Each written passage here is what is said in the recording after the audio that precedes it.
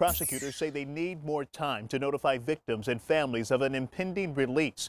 Meantime, the state faced with the rapid spread of COVID-19 behind bars. This spreadsheet lists nearly 170 names of inmates who are currently behind bars for serious crimes in Wayne County. Some convictions include armed robbery, child sex abuse, even murder.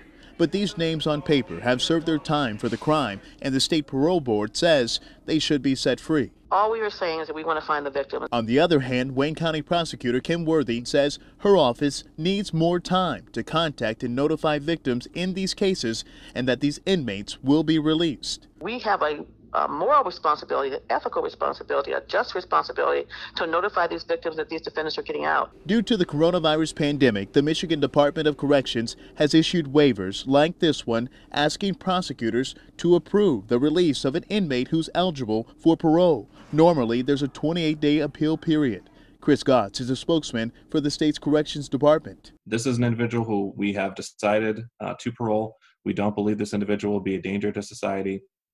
Um, there are no registered victims in this case. He says they are trying to speed up the process with a waiver to respond to the COVID 19 crisis, and prosecutors can deny, approve, or ignore the requests. Regardless, these inmates will be released in 28 days without a prosecutor's appeal. When we go to that parole uh, decision and we look to uh, see if there's a registered victim. If no one has has said that they are a victim of this crime, then we don't have anything to send to anyone. So far, a total of 772 letters were sent out, 309 waivers were granted, 148 denied. And the state says each inmate will receive a COVID-19 test before they are released.